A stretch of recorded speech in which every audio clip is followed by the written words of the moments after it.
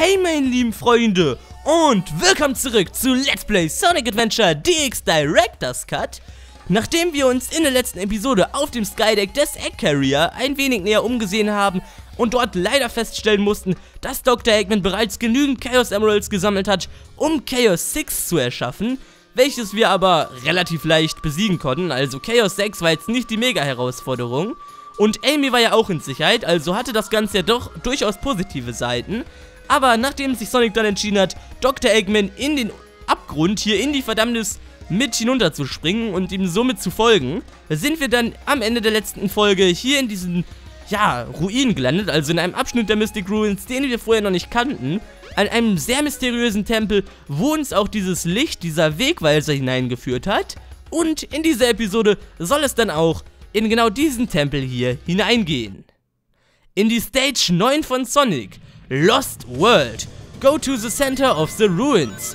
Und nein, das ist keine Anspielung an Sonic Lost World. Man muss bedenken, das Spiel hier ist schon, ich weiß nicht wie alt. Also locker mehr als 10 Jahre alt. Aber ich muss wirklich sagen, diese Stage hier, die ist richtig, richtig cool. Wenn man nur mal die Atmosphäre, also mit der Musik in Kombination und diese mega coolen Feuerstellen hier und diese Steine aus der Decke, wenn man das alles so in Kombination betrachtet, ist das mega episch aufgebaut.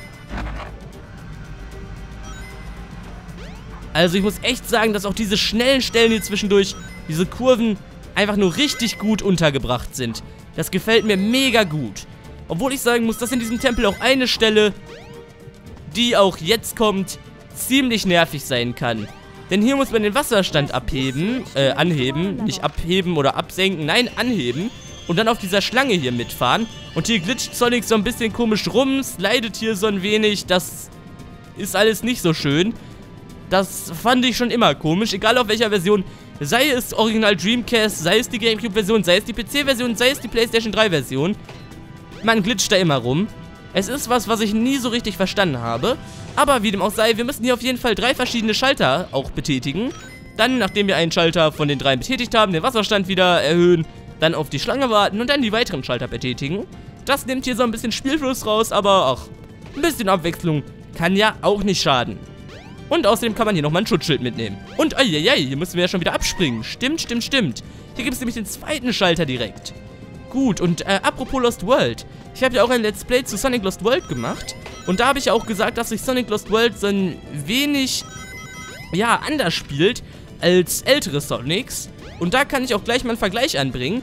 Wer das Sonic Lost World Let's Play gesehen hat und jetzt das Let's Play schaut, der wird merken, dass Sonic Adventure vollkommen anders ist, beziehungsweise viel, viel schneller ist als Sonic Lost World. Also man sieht, dass hier jetzt vielleicht nicht unbedingt in diesem Level, aber im Allgemeinen viel mehr Spielfluss vorhanden ist und das, ja, dadurch sterben wir übrigens. Nee, sterben wir nicht.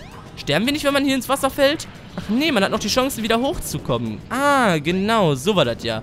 Äh, gut, was ich aber sagen wollte, ihr werdet merken, dass hier bei Sonic Adventure wesentlich mehr Spielfluss drin ist oder es sich auch wesentlich mehr wie ein schönes Sonic spielt, als jetzt vielleicht, ja, Sonic Lost World es tut, weil, das habe ich auch bei Sonic Lost World gesagt, es fühlt sich eher an wie ein Mario Galaxy.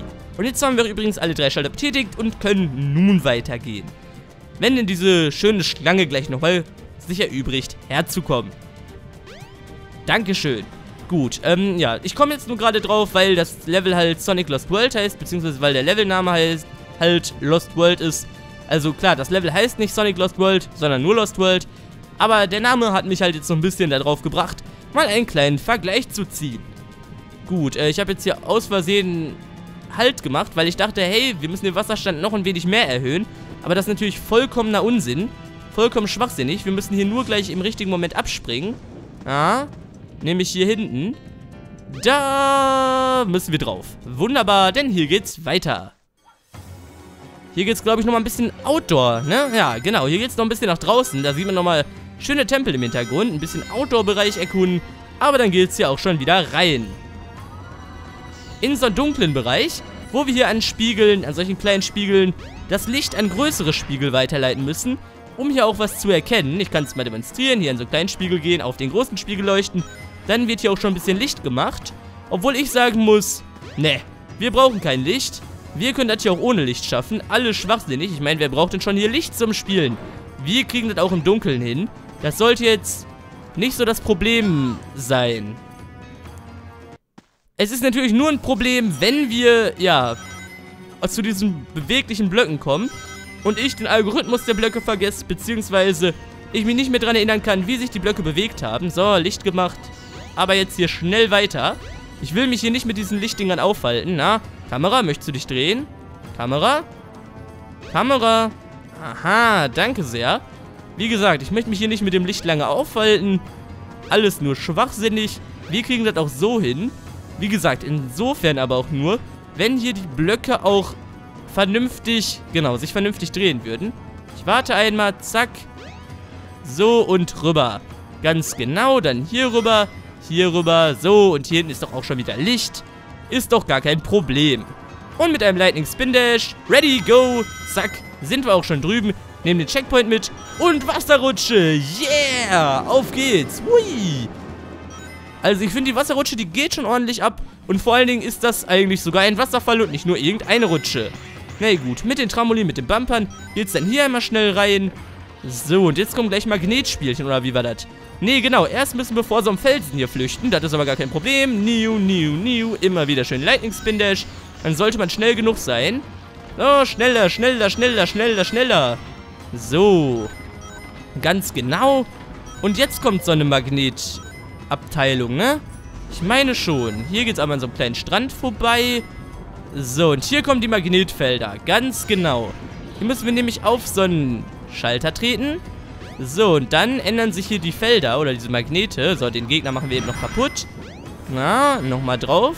So, und dann kann man nämlich, wenn die Magnete hier so perfekt zusammenpassen, an der Wand hochgehen, was ziemlich cool ist. So, hier auf die Stacheln aufpassen. Da drüben gibt es Magneten. Ja, wunderbar. Dann hier rüber.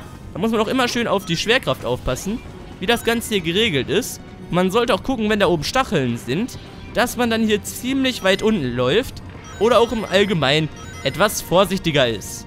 So, hier kommen wir ganz einfach rüber. So, wunderbar. Checkpoint mitgenommen. Hä? Nicht? Ah, geht doch. Ich wollte schon sagen. So, hier durch. Da kommen wir auch noch schnell vorbei. So, und dann machen wir hier ein neues Magnetfeld auf. Ganz genau. Hier geht es dann runter.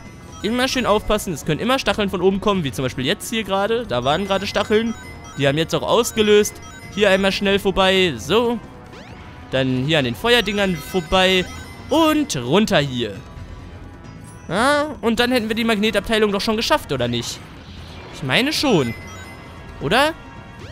Ich meine schon. Hier gibt es auf jeden Fall nochmal Ringe für den Lightning Spin Dash. Zack. Rüber da. Swoosh. Einmal Looping mitgenommen. Und dann sind wir am Ende angekommen.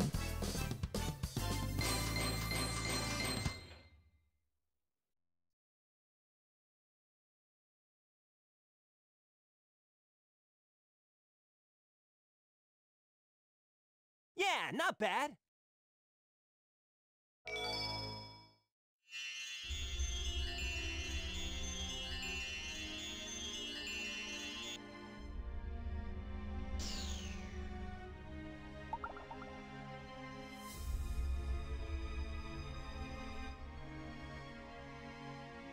Whoa, what's this? A mural.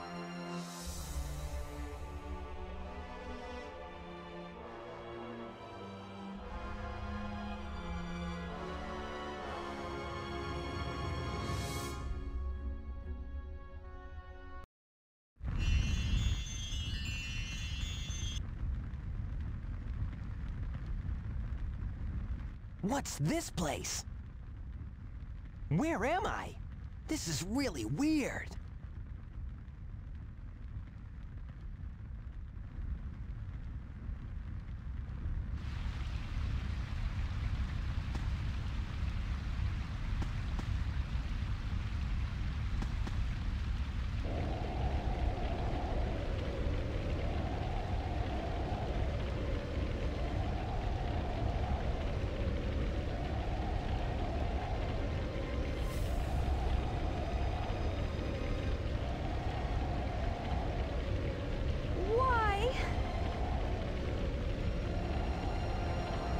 this hell?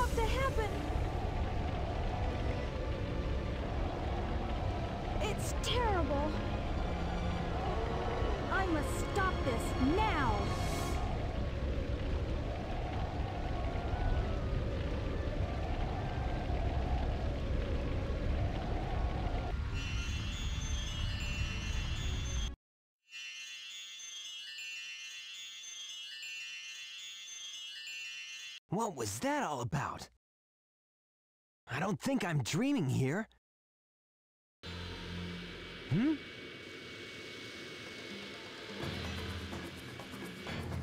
Eggman! What's he doing here? Well, never mind. This time I'll get him good. Was auch immer Sonic da genommen hat oder was auch immer dieses mysteriöse Wandgemälde, was ihr euch auch gerne vormerken könnt, das wird nämlich später gegen Ende des Spiels sehr, sehr wichtig werden, das Wandgemälde. Aber was auch immer da passiert ist, wir haben eine antike Vision gesehen, wo irgendwie ein Tempel mit den Chaos Emerald am Verbrennen war. Irgendwie war das sehr, sehr seltsam und da war eine Wächterin oder eine Person, die halt gesagt hat, ich muss irgendwie hier das beschützen. Es war sehr komisch. Und jetzt ist auf einmal Dr. Eggman wieder da. Was auch immer das für eine Vision war, wir müssen auf jeden Fall Dr. Eggman hinterher. Und das hier, das sieht doch auf jeden Fall gar nicht gut aus. Das sieht ja schon wie eine kleine Vorversion von Dr. Robotnik Land aus. Deswegen schnell hinterher. Und hier finden wir eine kleine Basis, beziehungsweise eine kleine Zentrale vom lieben Dr. Eggman. Hier sehen wir nicht nur, ja, ein paar Maschinen und oben auch ein kleines Easter Egg. Ja, da können wir mal hingehen. Oder was heißt ein kleines Easter Egg? Da oben, oder hier oben, kann man nämlich Metal Sonic sehen. Ja, da können wir es auch mal mit der Kamera eben zeigen. Das ist nämlich eine frühere Version von Metal Sonic. Richtig cool und auch die Musik gefällt mir hier sehr gut.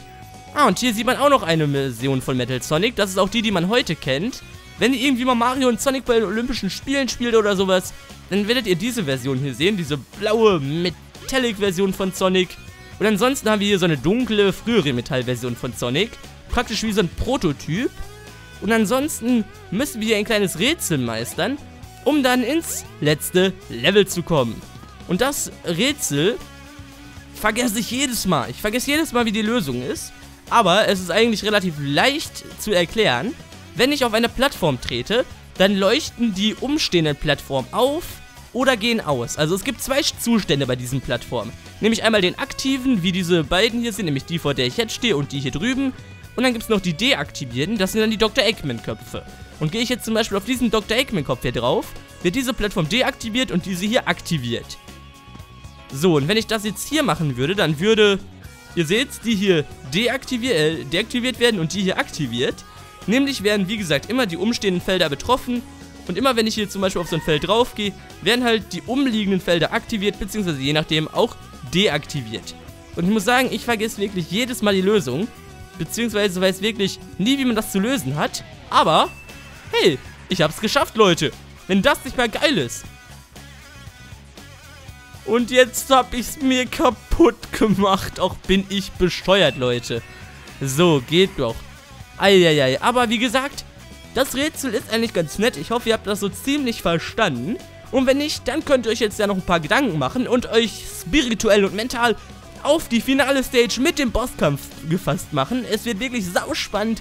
Wir gehen hier immer mehr ins Finale gegen Dr. Eggman über. Ihr könnt euch wirklich sehr, sehr auf die nächste Folge freuen. Denn hier ist wieder mal Ende im Gelände. Ich bedanke mich an dieser Stelle wie immer fürs Zusehen. Hoffe, dass euch diese Folge gefallen hat, auch wenn sie etwas kürzer war oder nur dieses eine Level umfasste. Ja, Dr. Robotnik Space Sonic, genau da bist du. Und genau da werden wir in der nächsten Episode, wie gesagt, weitermachen. Auch wenn wir jetzt nur ein Level geschafft haben, in der nächsten Episode geht es dann eben noch viel spannender und viel epischer zur Sache. Deswegen bleibt dran. Ich würde mich immer fürs Zusehen bedanken. Hoffe, dass euch die Episode gefallen hat. Und ich würde sagen, bis zum nächsten Mal. Ciao, Leute. Hey meine lieben Freunde und willkommen zurück zu Let's Play Sonic Adventure DX Director's Cut. Nachdem wir uns in der letzten Episode auf dem Skydeck des Egg Carrier ein wenig näher umgesehen haben und dort leider feststellen mussten, dass Dr. Eggman bereits genügend Chaos Emeralds gesammelt hat, um Chaos 6 zu erschaffen, welches wir aber relativ leicht besiegen konnten, also Chaos 6 war jetzt nicht die Mega-Herausforderung. Und Amy war ja auch in Sicherheit, also hatte das Ganze ja doch durchaus positive Seiten. Aber nachdem sich Sonic dann entschieden hat, Dr. Eggman in den Abgrund, hier in die Verdammnis mit hinunterzuspringen und ihm somit zu folgen, sind wir dann am Ende der letzten Folge hier in diesen, ja, Ruinen gelandet, also in einem Abschnitt der Mystic Ruins, den wir vorher noch nicht kannten, an einem sehr mysteriösen Tempel, wo uns auch dieses Licht, dieser Wegweiser hineingeführt hat. Und in dieser Episode soll es dann auch in genau diesen Tempel hier hineingehen. In die Stage 9 von Sonic, Lost World. Go to the center of the ruins. Und nein, das ist keine Anspielung an Sonic Lost World. Man muss bedenken, das Spiel hier ist schon, ich weiß nicht wie alt. Also locker mehr als 10 Jahre alt. Aber ich muss wirklich sagen, diese Stage hier, die ist richtig, richtig cool. Wenn man nur mal die Atmosphäre, also mit der Musik in Kombination und diese mega coolen Feuerstellen hier und diese Steine aus der Decke, wenn man das alles so in Kombination betrachtet, ist das mega episch aufgebaut. Also ich muss echt sagen, dass auch diese schnellen Stellen hier zwischendurch, diese Kurven, einfach nur richtig gut untergebracht sind. Das gefällt mir mega gut. Obwohl ich sagen muss, dass in diesem Tempel auch eine Stelle, die auch jetzt kommt, ziemlich nervig sein kann. Denn hier muss man den Wasserstand abheben, äh, anheben, nicht abheben oder absenken, nein, anheben. Und dann auf dieser Schlange hier mitfahren. Und hier glitscht Sonic so ein bisschen komisch rum, slidet hier so ein wenig, das ist alles nicht so schön. Das fand ich schon immer komisch, egal auf welcher Version. Sei es Original Dreamcast, sei es die Gamecube-Version, sei es die PC-Version, sei es die PlayStation 3-Version. Man glitscht da immer rum. Es ist was, was ich nie so richtig verstanden habe. Aber wie dem auch sei, wir müssen hier auf jeden Fall drei verschiedene Schalter auch betätigen. Dann, nachdem wir einen Schalter von den dreien betätigt haben, den Wasserstand wieder erhöhen, dann auf die Schlange warten und dann die weiteren Schalter betätigen. Das nimmt hier so ein bisschen Spielfluss raus, aber auch ein bisschen Abwechslung kann ja auch nicht schaden. Und außerdem kann man hier nochmal ein Schutzschild mitnehmen. Und, eieiei, hier müssen wir ja schon wieder abspringen. Stimmt, stimmt, stimmt. Hier gibt es nämlich den zweiten Schalter direkt. Gut, und äh, apropos Lost World. Ich habe ja auch ein Let's Play zu Sonic